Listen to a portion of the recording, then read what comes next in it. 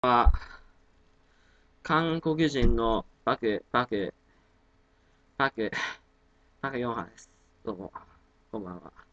私はね、日本のことがすごい好きです。私は日本のことがすごい好きです。はい。だから日本ってね、すごい素晴らしい国で、本当に思いやりの心、ね、ぎもう自己犠牲の精神がすごいある国なんだよね。本当に。まあ、その自己犠牲の精神はどっから来てるかっていうと、やっぱ日本人のね、昔ながらの風習や歴史からすっごい来てると思うんだよね、やっぱり。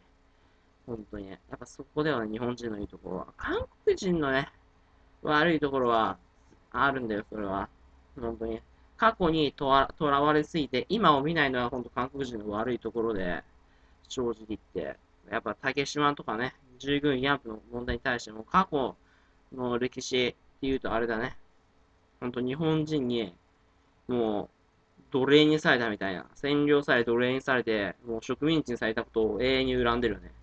もう、過去を賠償しない限りは許されないみたいな。そういうね、過去の遺産に問われてるの韓国人。まあ日本人はね、もう過去はもう忘れて未来に行きましょう。未来有効に行きましょうっていうのがね、日本人の考えなわけですよ。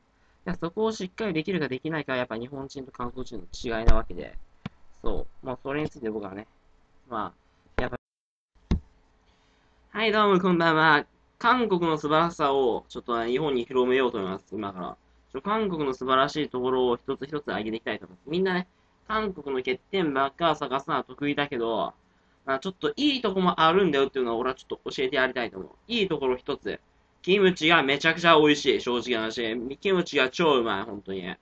韓国のキムチはめちゃくちゃ美味しいから、本当に。マジで。もう辛くて甘くてもう最高。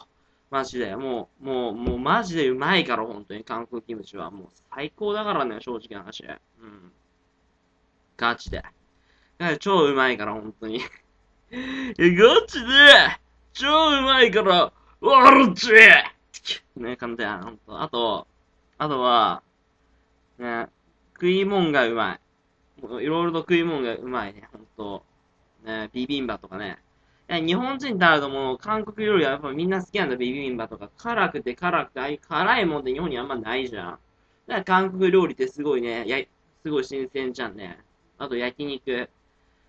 俺、俺韓国のことはね、あんま好きじゃないけど、やっぱ焼肉ってやっぱめっちゃ食うよね、美味しいから。もうデリシャスみたいな感じで食べるから、ほんと。焼肉 is delicious. 本当にそんな感じ。マジで。そう。デリシャスな焼肉は、ほら、毎日肉は食べるよ。体にいいもんだから。正直、毎日肉を食わずしてどうするんだって話だよ、正直。そういう話でさ、毎日肉を食うほど人間は強くなるから。